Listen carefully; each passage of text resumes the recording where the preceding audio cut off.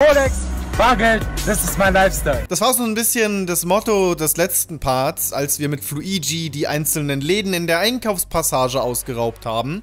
Auch ein riesiger, roter Monstergeist konnte uns nicht aufhalten. Jetzt haben wir alle Schlüssel und jede Menge Bargeld beisammen und können den Überwachungsraum des Wächters betreten. Er hat einen Aufzugsknopf, den wir unbedingt brauchen. Hm. Ah? Ah. Der Sternschlüssel öffnet die Tür.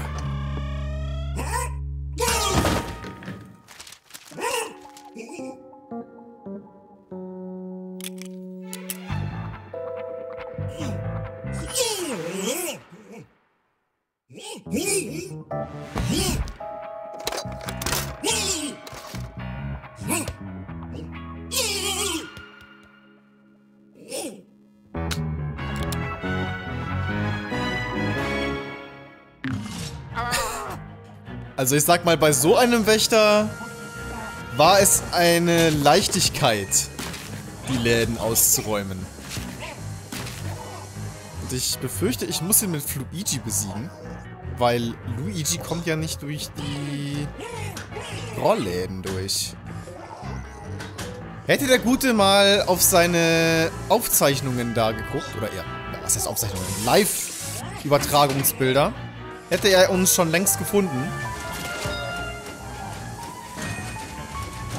Aber äh, da hat er lieber Zeitung gelesen. Und konnte deshalb von uns überrascht werden. So, während ich mit Luigi, denke ich, jetzt alles gemacht habe, kommt nun der harte Teil, der Bosskampf. Luigi gegen den Wächter, der eine Wasserpistole hat. Was sehr passend ist, da Luigi ja ähm, Wasser nicht mag. Ah, okay. Wir können ihn blenden, dann seine Brille abnehmen und ich glaube, jetzt können wir ihn sogar verletzen, oder? Ja. Relativ einfaches System. Und während wir ihn hier gepackt haben, schleudern wir ihn gegen die restliche Einrichtung. Macht ja Spaß, alles zu zerstören und gleichzeitig kommt man so auch an... Hä? Noch mehr Geld ran? Was ist denn jetzt passiert? Hat er mich rausgeschleudert? Ich weiß nicht, wie er das gemacht hat. Hat mich sowieso gewundert, weil er plötzlich wieder da war. Oh, er muss nachladen. Perfekt. Wir konnten das ausnutzen. Die Brille ist erneut weg. Und sein Schwanz hängt an unserem Sauger.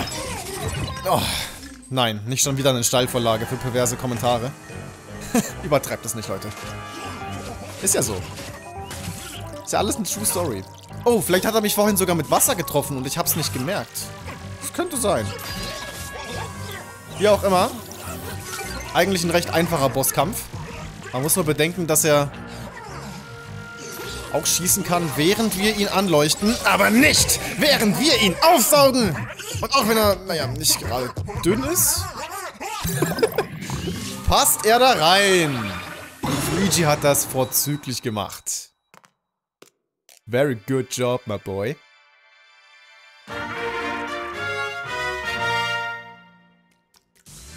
Bevor wir aber gehen, gucken wir uns nochmal genau um. Wir wollen da nichts verpassen. Und ein Edelstein fehlt mir ja sogar noch, ne? Mir fehlt aber bisher in jeder Etage mindestens ein Edelstein. Ich weiß nicht genau, woran das liegt. Also ob man... Huch. Ob man die überhaupt finden kann. Oder ob die bewusst erst später auffindbar sind. Weil ein bisschen Backtracking wird es in dem Game ja wahrscheinlich auch geben. Vorsicht, Banane. Wir sind zwar nicht in Mario Kart, aber aus, auf denen kann man immer wieder ausrutschen. Ganz normal. Ah, warte mal. Ich glaube, diese Eimer, die kann ich doch... Genau, mit dem Saugknopf zerstören. Aber ich weiß nicht, ob mir das überhaupt was bringt. Da ist eine Wasserpistole. Ich fand aber den Boss auch ziemlich leicht. Er, war zwar schön inszeniert, aber er war auch ziemlich leicht. Nichtsdestotrotz, wir befinden uns ja immer noch am Anfang des Spiels und ich glaube, es gehört ja auch immer noch zum Fluigi-Tutorial. Was war das denn gerade? das sah gerade komisch aus. Ich glaube, hier gibt es gar nichts mehr. Auch wenn das mit dem Regal ein bisschen auffällig aussah. Ah, doch, da ist noch ein Geldschein, siehst du? Naja, halten wir uns nicht länger auf. Ich glaube, wir können den Raum verlassen.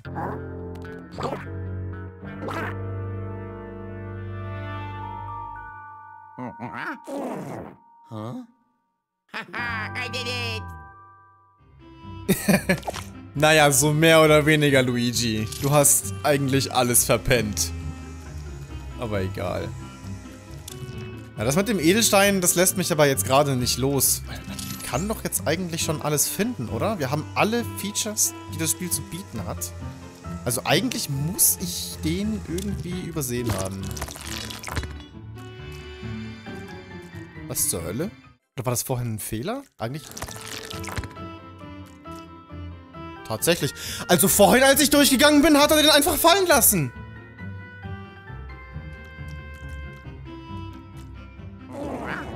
Ist ja auch egal.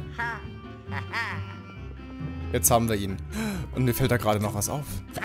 Sag bloß, da ist der letzte Edelstein. Komm, komm, gönn! Da ist nichts.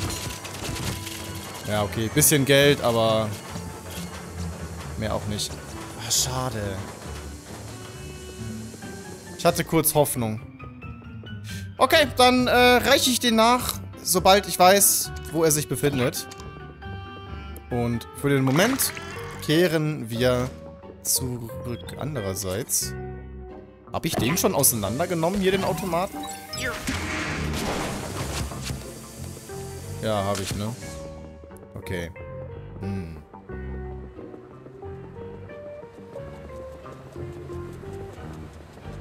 Oder da oben, dieses Starbucks-Shield? Ne, das kann ich ja auch nicht abziehen. Dann ist es wohl so. Und Luigi, du hast die falsche Rolltreppe genommen. naja, egal, das hält fit. Kann man ruhig mal machen.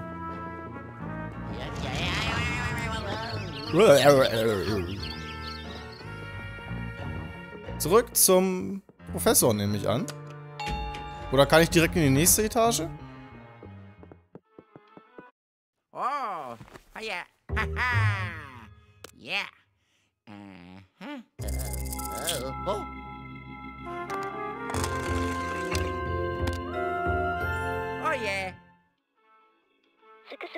Luigi, du kannst jetzt mit dem Aufzug direkt zu E2 fahren. Ich würde sagen, dass du das direkt mal ausprobieren solltest. Okay. Gastronomie, Unterhaltung. Let's go. Geht direkt weiter. Gastronomie klingt schon mal gut. mm, njam, njam. In diesem Hotel gibt es mit Sicherheit nur das vorzüglichste Essen. Jedes Restaurant hat drei Michelin-Sterne. Wie es sich gehört.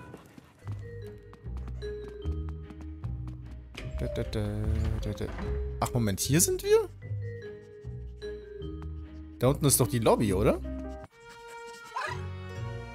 Ach so, okay, jetzt geht's in diesen bisher unerreichbaren Bereich. Da sind die Restaurants. Oh, und das kann man mit dem Pömpel abmachen. Ah. Okay. Verstehe.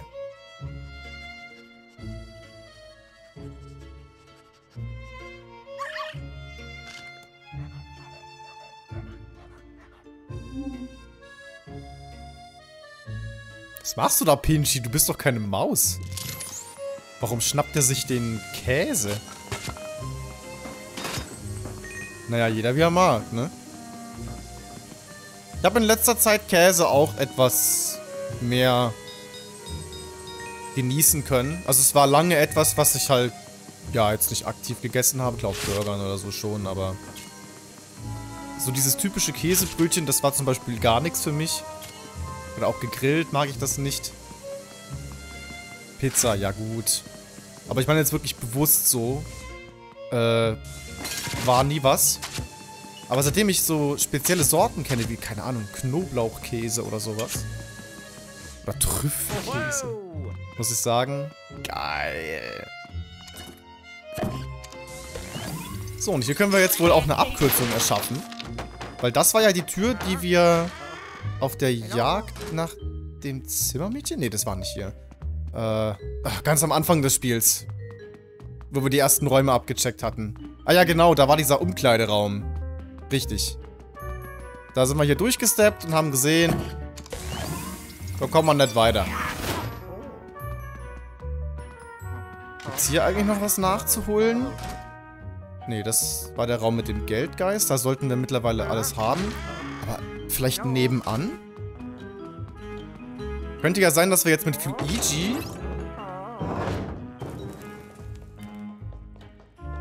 Dinge tun können, die vorher noch nicht möglich waren. Da haben wir auch die Düsterlampe bekommen. Aber nein, es sieht ehrlich gesagt nicht danach aus, als gäbe es hier noch was. Nee, ich denke nicht. Also zumindest auf den ersten Blick würde ich sagen, nein. Okay, weiter. Feuerlöscher. Den schmeißen wir mal runter. Wie wir wissen, gibt das ein bisschen Chaos und Münzen.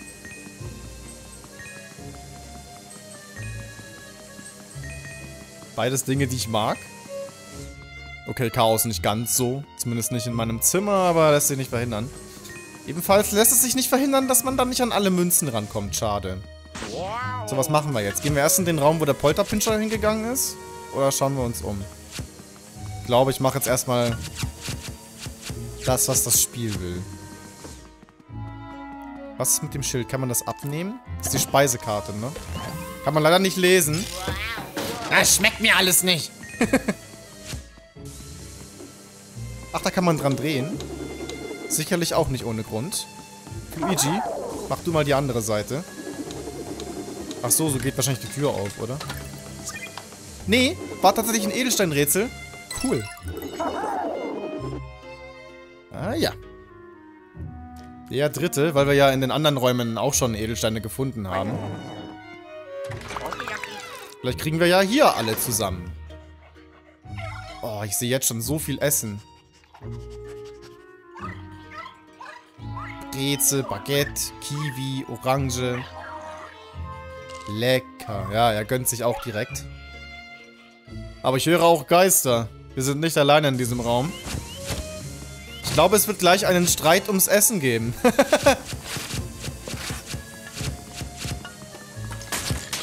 Geil. Eine Essensschlacht vielleicht sogar.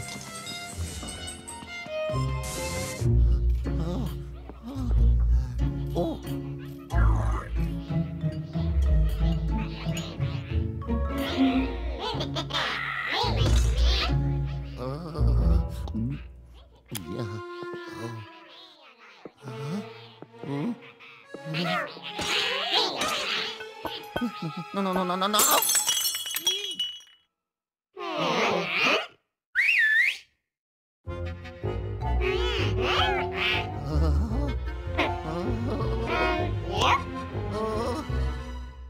Tatsächlich.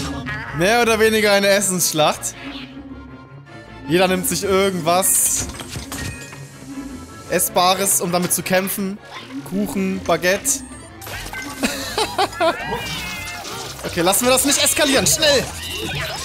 Plätte sie, Luigi. So. Ja, wenn es geht, auch mehrere auf einmal. Ich glaube, ich release mal kurz. So. Ich will gleich zwei blenden und aufsaugen. Ja, so muss das. Oh nein! Der hat mir eine Tomate oder sowas in den Bauch gejagt. Oh, shit. Okay, das ist etwas schwieriger. Geh mal hier in die Ecke.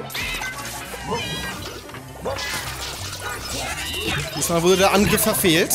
Und wir können nochmal versuchen, zwei auf einmal einzusaugen. Diesmal läuft's besser. Schnell auf die anderen schleudern. Nein, nicht die Tischdecke aufsaugen, Luigi. Verdammt, hier ist echt alles ein bisschen schwieriger, weil es auch so eng ist. Überall steht ein Tisch oder irgendwas anderes liegt im Weg rum. Siehst du? Anstatt der Geister habe ich mir jetzt die Tischdecke geschnappt, was ich natürlich nicht wollte. Ach, verdammt. Okay, ich setze nochmal neu an. Das habe ich. Aber mit den Kombopunkten wird das hier, glaube ich, eher nichts. Oh, was hat denn der für eine fette Torte?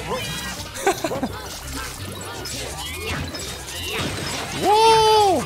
Ach, na klar, man kann die Tische auch zerstören. Okay, das habe ich jetzt gar nicht so wirklich realisiert. Mein schlechtester Kampf bisher. Erstmal alles aufsaugen, auch den Käse. Oh, den Käse kann ich schießen. Ja, äh, oder auch nicht. Der verstopft einfach nur meinen Schreck weg. Ist also ein weiteres Hindernis.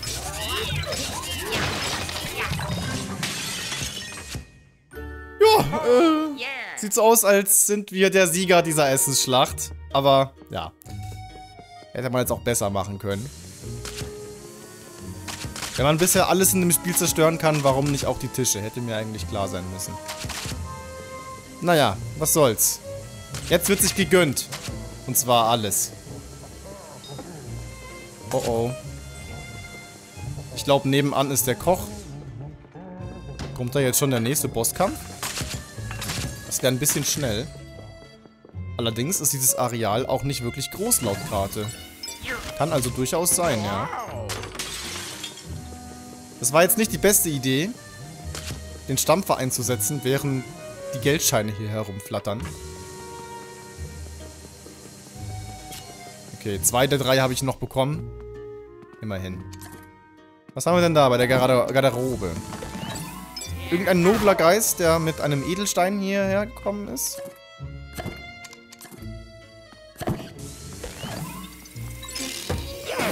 Wenn, dann holen wir uns den.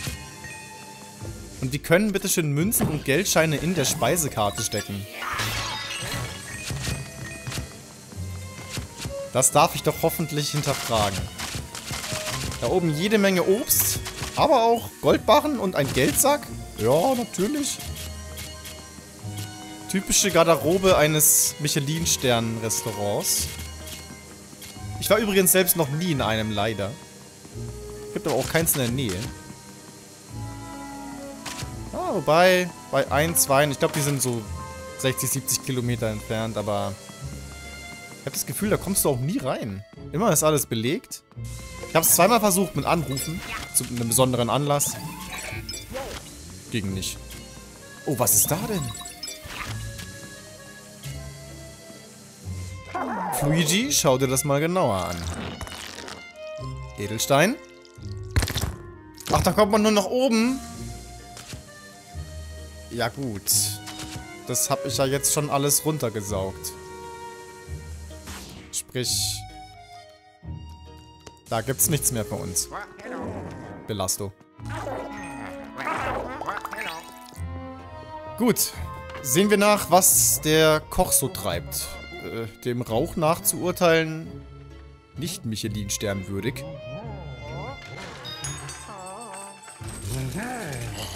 Ach du Scheiße. Erstmal den Rauch aufsaugen.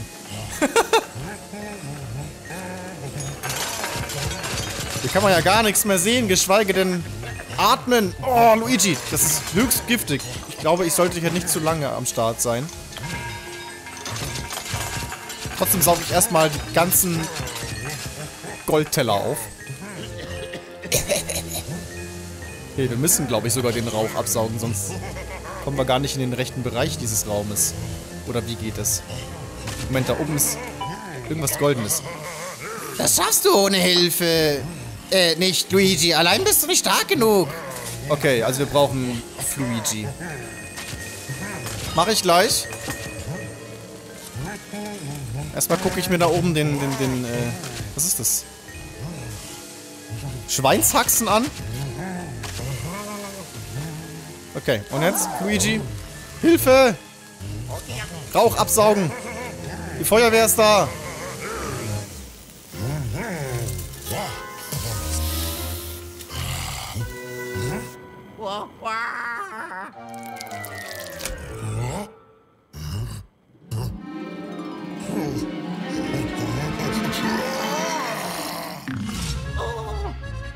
Okay. Dem gefällt es wohl nicht so, dass wir sein Essen und seine Herangehensweise beim Kochen hinterfragen. Warte mal, was muss ich machen? Lass doch Luigi in Ruhe. Ach, wobei, das war gut. Das war gut. Luigi kann ja nicht sterben. Aber der hat sich an dem angehauen. Ja, und währenddessen können wir ihn blenden, oder? Nein? Aber dafür vielleicht seine Pfanne absaugen. Erstmal weg mit dem Glibberfisch. Achso, oder muss ich ihn abschießen? Nö.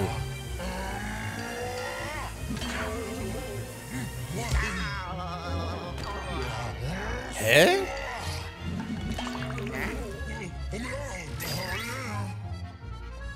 Ach, mit dem Pömpel, oder? Ja, ja, jetzt habe ich es verstanden. Ich bin ja auch so ein Idiot. Ist eigentlich ganz logisch. Oder? Oder doch nicht? Man muss ihn tatsächlich mit den Gegenständen hier abschießen. Also entweder mit den Fischen oder was sonst so gerade rumliegt. Vielleicht gibt es aber auch alternative Wege. Ich, ich schau mal. Ich sollte aber vielleicht nicht in ihn reinrennen.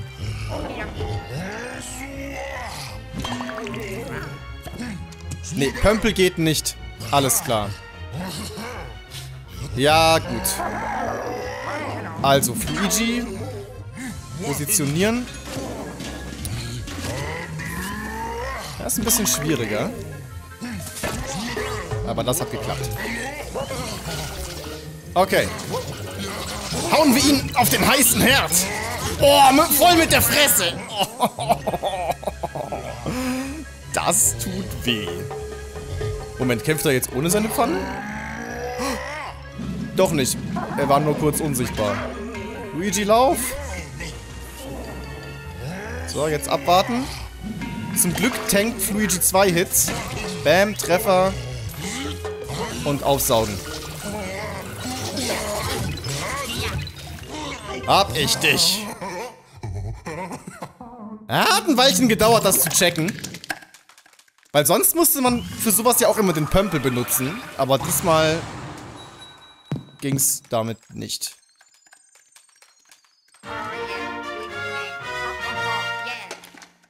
Okay. Aber auch cooler Bosskampf. Noch äh, schwieriger als der äh, Wächter. Jetzt, hat, jetzt hatten wir heute tatsächlich zwei Bosskämpfe in einem Part. Hätte ich jetzt auch nicht erwartet, aber freut, denke ich, jeden. Was haben wir da noch in der Kühlkammer? Wir schauen hinein. Alter, was ist das? Das sieht nicht essbar aus. ist das ein Lampenfisch? Oder Anglerfisch? Oh mein Gott. Erschreck mich doch nicht so, Polterpinscher. Was machst du? Hat er sich das Fleisch gegönnt oder ist er jetzt Fisch? Naja, Hunde mögen, soweit ich weiß, auch Fisch. Jetzt nicht priorisiert? Wie Katzen? Die stehen da eher drauf, aber ein bisschen Fisch äh, kann nicht schaden. Kann der nicht nochmal sein Maul aufmachen, bitte? Ich will die Goldbarren haben. Oder habe ich da jetzt einen Fehler gemacht? Hätte ich nicht dran ziehen dürfen. Oh nein. Achso, warte, Fluigi. Steig du ihm ins Maul. Ja! Ach, geil. so geht das. Alles klar. Nice. Dann gucken wir uns noch die andere Kühlkammer an. Gibt ja zwei.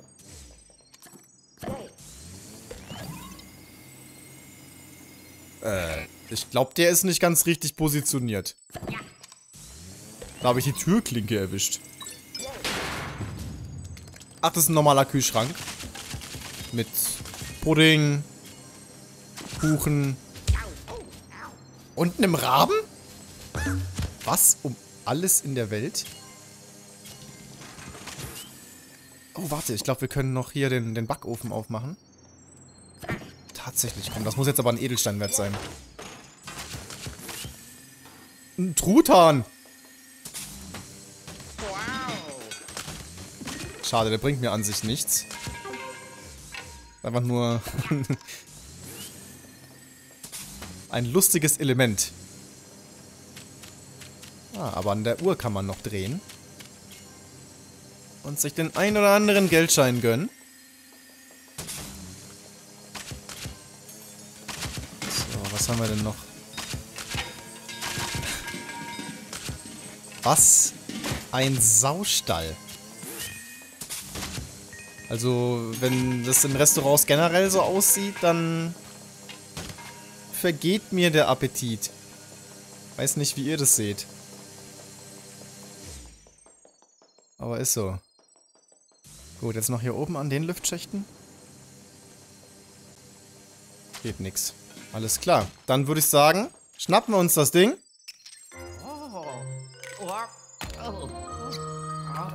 Wie jetzt? Oh, no, no, no, no. Oh.